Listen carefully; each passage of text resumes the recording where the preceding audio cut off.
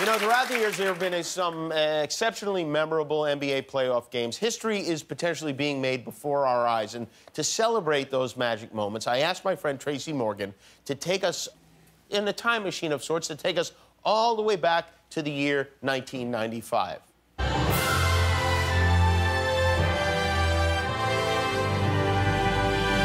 I went to Chuck E. Cheese with a group of friends to watch the Pacers Knicks Eastern Conference Finals.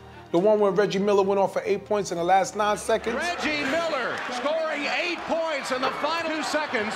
One of the most remarkable comebacks in all of basketball.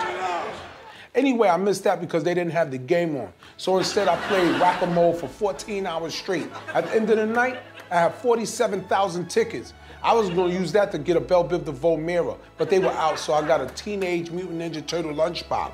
I gave that to my Mima to keep her pills in, but I kept the thermos. I still use it to this day. To this day!